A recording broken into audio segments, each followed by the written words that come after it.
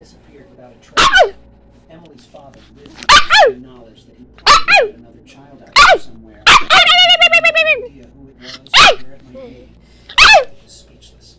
She never thought her father could do something like that. And he kept his secret this way. Then he surprised her. She saw the messages on his phone.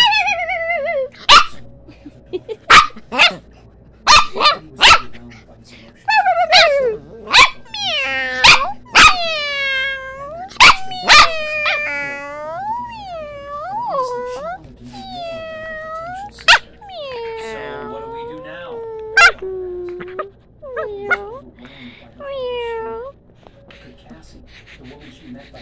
Ow!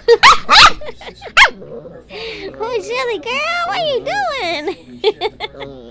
What are you doing? What do you think you're doing? This was a big revelation.